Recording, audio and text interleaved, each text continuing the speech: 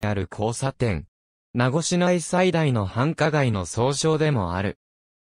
名護市商店街中心部にある交差点で、かつては国道58号が南北を通っていたこともあって、渋滞も時々あり、白十字路と並んで、沖縄本島北部の交通の要所、そして道路案内標識の基準、重要地としての名護の基準交差点だったが、1986年の国道58号名護バイパス全線開通により、東交差点を通過した車の大半は、宮里三丁目交差点を経由するバイパスに移ったため、前者は、同交差点や白銀橋交差点、後者は、名護市役所前に移り、かつてほどの交通量はない。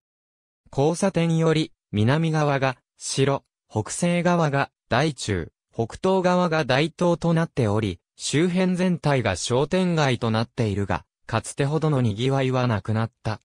いずれも、国道58号経由国道58号からの、ヘド岬、海洋博公園への距離は省略 AB、経営発達支援計画の概要。中小企業庁。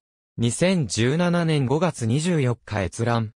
東京オリンピックの沖縄聖火リレーに関する資料を知りたい。内閣府沖縄総合事務局開発建設部下線化、流域調整課。2017年5月24日閲覧。音楽で、街元気に、大人のバンド来月11日名護に集結。琉球新報。2017年5月24日閲覧。イデオロギーより、アイデンティティ、小長那覇市長、9月4日、名護十字路での街頭演説。福地行政書士事務所。2017年5月24日閲覧。